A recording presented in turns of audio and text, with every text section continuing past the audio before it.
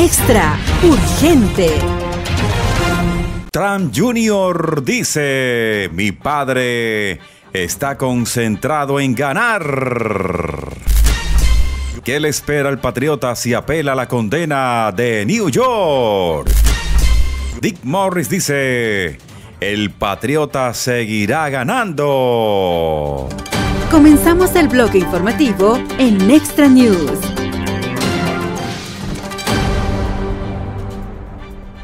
El patriota se mostró sombrío después de escuchar el veredicto de culpabilidad en su juicio penal en New York, que podría resultar en pena de cárcel, pero sigue centrado en ganar la Casa Blanca en noviembre, dijo Trump Jr. a un medio.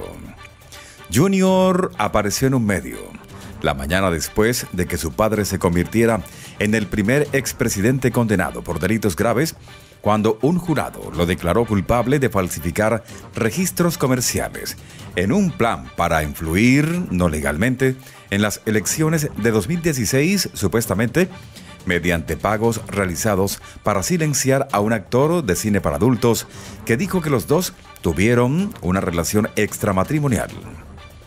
Don Jr. hizo los comentarios cuando la copresentadora Charla McBride preguntó cómo le estaba yendo al patriota después del veredicto.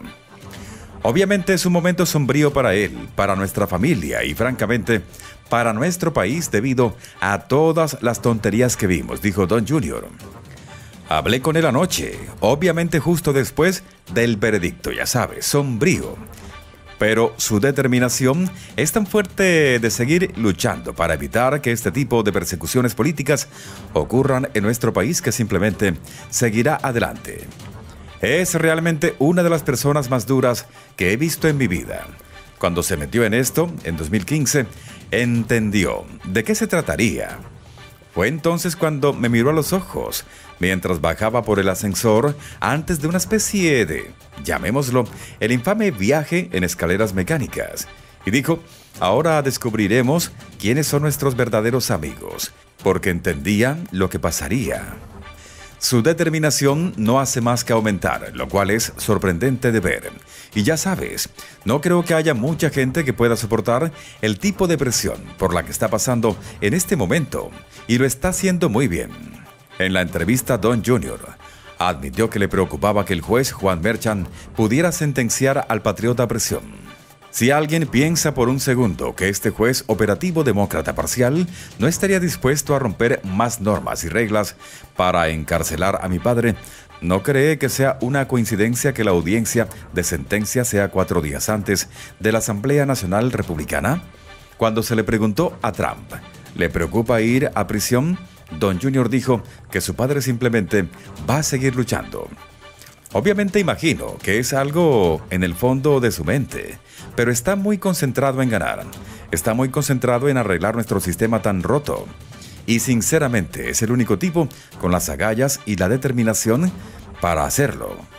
Don Junior también habló sobre el juicio. Los demócratas han estado jugando este juego durante décadas, ¿verdad? Están jugando duro con lanzamientos rápidos. Hemos estado jugando al T-Ball en el lado conservador, dijo. Entonces, hasta que comencemos a jugar el mismo juego, hasta que comencemos a perseguirlos de la misma manera que ellos nos persiguen a nosotros, nos va a funcionar.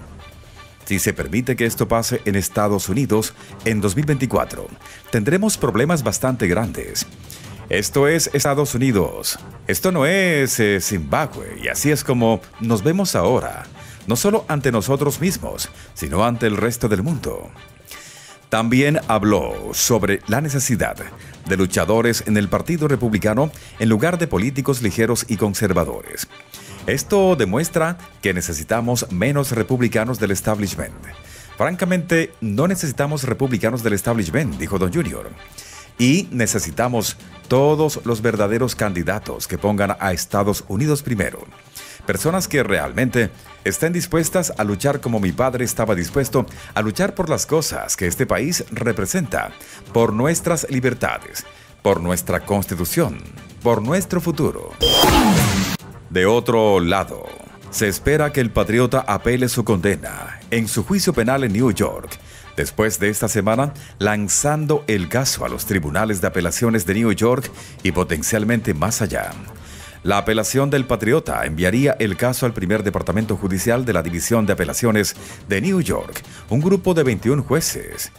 La jueza que preside el Diane Renwick, quien fue nombrada por la gobernadora demócrata de New York, Kathy Hochul, en 2023.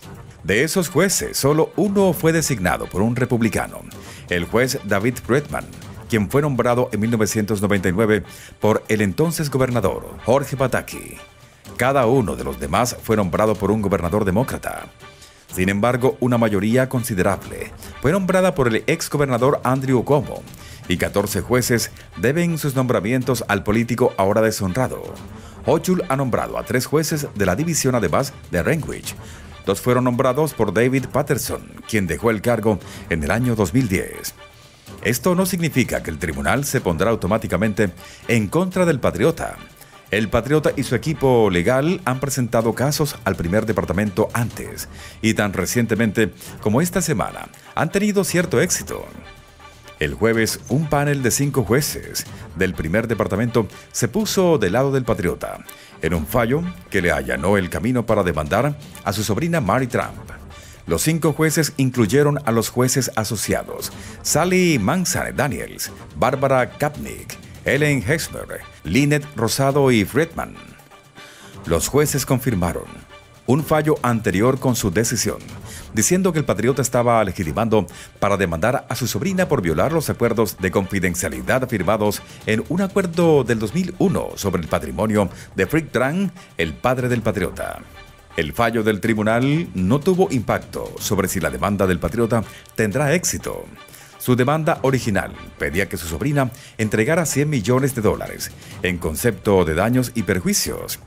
El tribunal dice que aún puede conseguir fondos. Como mínimo, es posible que aún se puedan obtener daños nominales por la reclamación por incumplimiento de contrato, incluso en ausencia de daños reales, escribió el tribunal. Si el caso del patriota va más allá de la división de apelaciones, llegaría al Tribunal de Apelaciones del Estado de New York Troutman se unió a la corte después de una nominación de Hochul en 2021. Hochul también nominó a Halligan en abril del 2023. Mientras tanto, Singas recibió su nominación de Cuomo. Cuomo vuelve a ser responsable de la mayoría de los miembros de la Corte, nominando a Rivera en 2013, García en 2016, Wilson en 2017 y Canataro en 2021.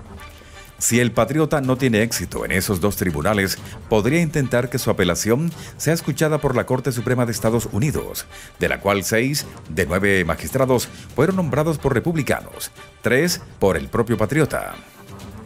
Algunos expertos legales dicen que el caso presentado contra el patriota por el fiscal de distrito de Manhattan, Alvin Bragg, tendrá problemas reversibles cuando se apele.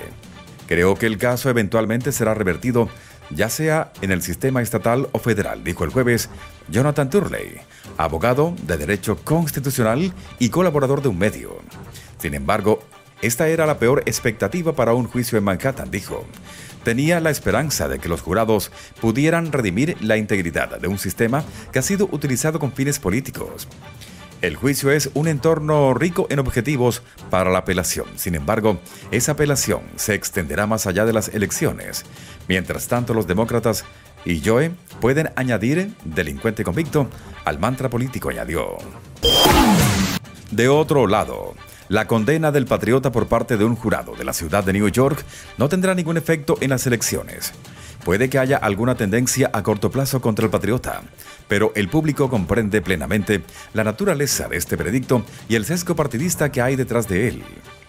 El juez Juan Merchan ha garantizado que este veredicto será percibido como una manifestación de parcialidad judicial. El empleo de su hija por parte del Partido Demócrata como recaudadora de fondos y sus fallos sesgados a lo largo del caso hacen que su parcialidad sea evidente. Sin duda los demócratas intentarán hacer de este veredicto el eje de las elecciones del 2024, pero al hacerlo se equivocarán. Los votantes han decidido apoyar al patriota debido a los problemas que le afectan, como la inflación, los precios de la energía, la delincuencia y la migración. Ninguna postura del Partido Demócrata gritando que Trump es un delincuente convicto, podrá cambiar eso. De hecho, el principal impacto de este veredicto será asegurar que Joe será efectivamente el candidato del Partido Demócrata, por lo que su campaña estará llena de suficiente optimismo. Esto significa que Joe no se retiraría aunque debería hacerlo. Si los demócratas intentan que esta elección gire en torno al veredicto, cometerán un gran error. Este caso me recuerda a los hechos que rodearon a Mónica Lewinsky y Bill Clinton a finales de los años 90. Al centrar toda su campaña en la mala conducta del presidente, los republicanos cometieron un error fatal en 1998. Los votantes sintieron que estaban ignorando los problemas reales al centrarse únicamente en la conducta del presidente en lugar de hablar de los problemas muy reales que enfrentaban en sus propias vidas. Sin embargo, por supuesto, necesitamos ver hasta qué punto los demócratas están dispuestos a llevar esta farsa del debido proceso. Si Merchan decide encarcelar al patriota o restringir su capacidad de hacer campaña, ese se convertiría en el único problema y reanudará en beneficio del patriota a lo grande. Muy pronto, vuelve a escuchar las noticias más relevantes en este canal de noticias.